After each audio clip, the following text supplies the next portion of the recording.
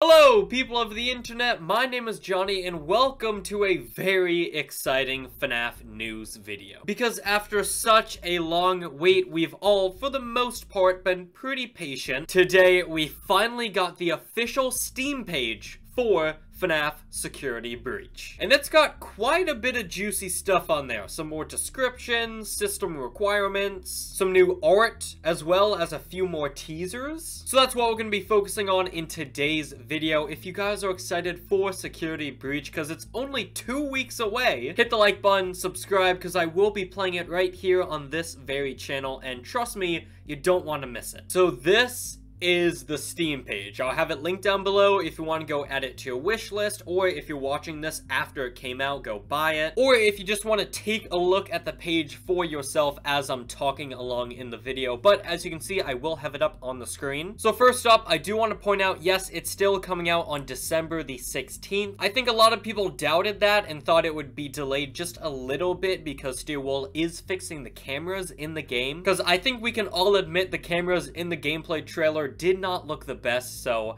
I'm happy they're fixing them. But as you can clearly see, the planned release date is still the 16th of December, so again, in about two weeks. In Five Nights at Freddy's Security Breach, play as Gregory, a young boy who's been trapped overnight inside of Freddy Fazbear's Mega Pizzaplex. With the help of Freddy himself, Gregory must uncover the secrets of the Pizzaplex, learn the truth, and survive until dawn. So very interesting that it says reveal the secrets and find out the truth. And I mean, we did did hear it at the end of February's trailer. I think Vanessa or somebody said there's more going on here than you realize. So yeah, it looks like we have a lot of lore to look into when the game comes out. Also, I want to point out that these tags you see, I, I see a lot of people pointing these tags out. I want to make it clear that these are user-defined tags. So people put these tags on the game. These aren't official. Because, I mean, I feel like you guys could probably gather from some of the goddamn tags on the page. Yeah, so a lot of people are saying there's multiple endings. Oh my gosh, you know, it's confirmed. No, it's not. It's just what people decided to put on the page. So all this stuff here, don't take it as official. There are some tags down here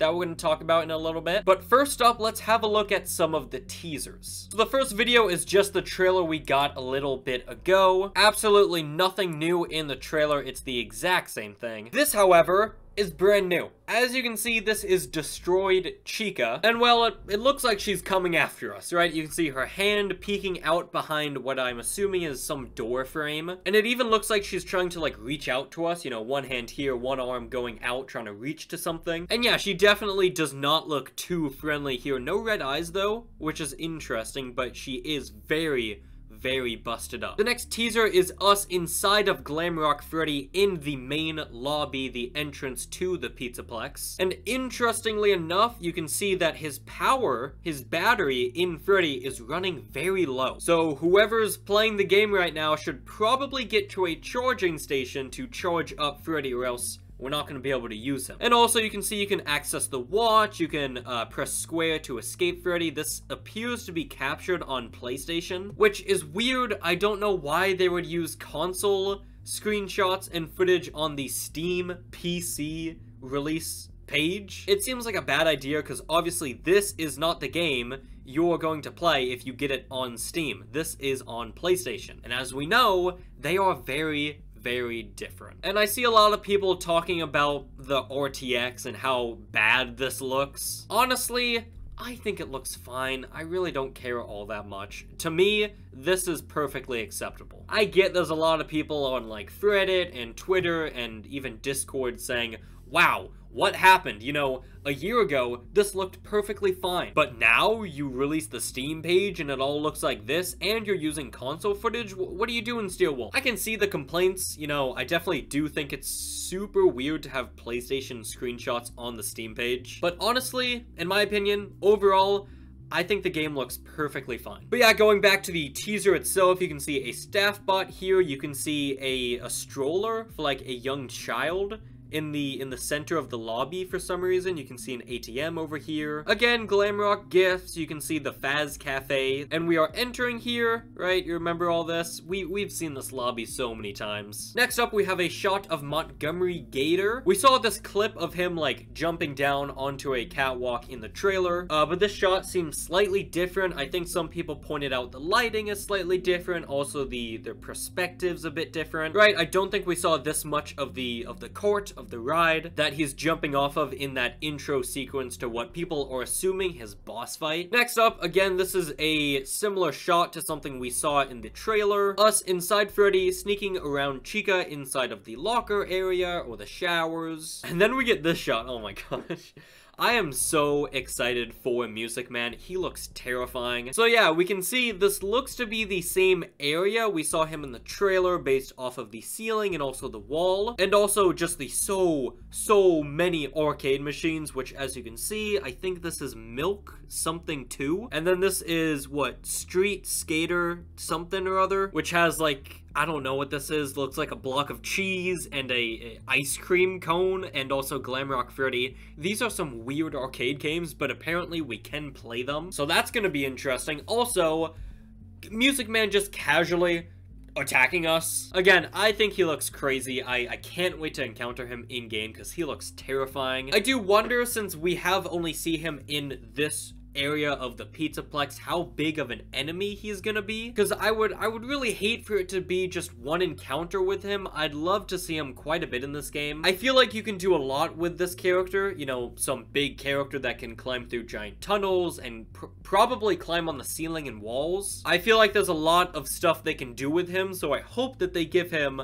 a big role in the game because I'd love to see it. And the final teaser, again, something we saw in the trailer not too long ago, are the staff bots, the service bots, uh, in the in the sewers. And they're all busted up, you know, they've got mouths and tears drawn on their face. They have in your dreams on their bellies or on their chests. I still don't really know what that means. Tell me what do you think it means in the comments, but that is all of the teasers. Next up, let's move on to this section of the Steam page. As you can see, it's single player only, no multiplayer, unfortunately. Steam achievements, full controller support, yada yada yada, all that good stuff. They have a lot of languages here, English, French, Italian, German, Spanish, Spain, Portuguese, Brazil, Russian, and Spanish from Latin America. Right, all the interfaces and subtitles subtitles are in all those languages. Unfortunately, no full audio, so no like voice actors for, you know, Spanish speaking people or French, Italian, German, all that stuff. It would be nice if they could add that in the future. That'd be cool to see. This description I think we've read before, but just in case you missed it, I'll go over it right now. The next chapter in Fear. FNAF Security Breach is the latest installment of the family-friendly horror games loved by millions of players from all around the globe. Play as Gregory, a young boy trapped overnight in Freddy Fazbear's Mega Pizzaplex. With the help of Freddy Fazbear himself, Gregory must survive the near unstoppable hunt of reimagined FNAF characters as well as new, horrific threats. The hunters and the hunted. Once nighttime protocols are initiated, the animatronics at Freddy Fazbear's Mega Pizzaplex will relentlessly pursue all intruders. Glamrock, Chica, Roxanne Wolf, Montgomery the Gator, and the Pizzaplex's security guard Vanessa will turn over every cotton candy pizza stand if they have to. It's not wise to stay in one place for too long. Adapt to survive. Access the building security cameras to survey the environment and plan your route through danger. Distract enemies by knocking over paint cans and toys. Just slip away before enemies are drawn to your location. Hop into hiding spots and allow danger to pass, or try to outrun your pursuers, play your way, but be prepared to adapt. Explore and discover Freddy Fazbear's Mega Pizzaplex offers a variety of attractions for guests to enjoy. Monty Golf, Roxy's Raceway, Bonnie Bowl, the sewers, and sewers? The Pizzaplex is vast and has no shortage of goodies to discover. Yeah, we talked about this description as well as a few extra details in a past video. I'll leave that link down below if you want to go check it out. But basically, you got Chica, Roxanne, Monty, and yes, Vanessa going after you in the game. I know there are still people who don't want to think that Vanessa is Vanny, but at this point,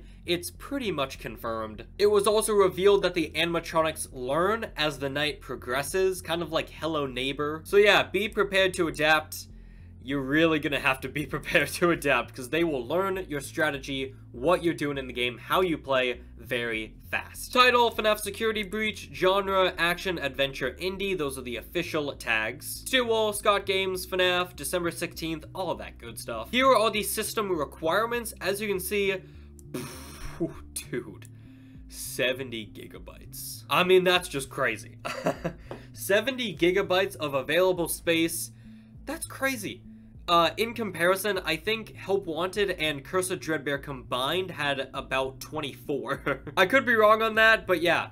When Scott said that they are baking a huge cake in the oven and whatever the hell that analogy was, he was not lying. But yeah, I think that's everything. Oh my god, just, uh, just looking at this is still insane. But yeah, I think that's everything on the store page. Again, December 16th, boys. Mark your calendars, 13 days. 13 days. No price yet. Um, oh, I just remembered. They also revealed a new poster for the game. This is one of those things where I'm like, hey, I need to mention the poster. Don't forget about mentioning the poster. And then at the very end of the video, I'm like, oh shoot, I still haven't mentioned the poster. Uh, but here it is. As you can see, this... I mean, this looks crazy. You got FNAF Security Breach, Vanny looming over all of the characters, Freddy, Roxanne, Chica, Monty, Gregory, and Vanessa. You know, some checkered flags, some stage lights, a bunch of stars, some neon lights surrounding the text. It, it looks incredible. I think Freddy looks so badass. Chica looks so happy. Roxanne looks oddly seductive in a way. Monty, again, he just he looks like a Chad. Vanessa, my girl looking better than ever. And then also Gregory, probably the most important character to talk about because this is the first time we see his face. I see some people a little bit upset about the model. I think it looks fine. Kids naturally have pretty big cheeks anyways. And again, keep in mind, like, these two are the first, like, proper human models we've gotten for FNAF. And for the first time, I think they did a pretty good job. I, I think these are some very, very well done models in my opinion. But yeah, that is gonna do it for this video. I am so unbelievably excited for Security Breach. I know some people are still kind of iffy about the graphics and the new characters and the possible lore. I don't really mind. I'm just happy to get a new FNAF game. You know, we, we've we've been waiting for a long time. Way, way, way too long. But I'm happy that they took their time with it. I'm happy we finally have a release date. And hopefully pretty soon, pre-orders or like a, a price reveal sometime soon because we haven't gotten those yet. So we've got the store pages. Hopefully, pretty soon, before the game comes out, they'll let you pre-order it, and then in 13, 14-ish days, we get the game, December 16th. I'm so excited. Tell me your theories and how excited you are in the comments down below. Hit the like button, subscribe if you made it this far, and I'll see you all on the flip side. Goodbye.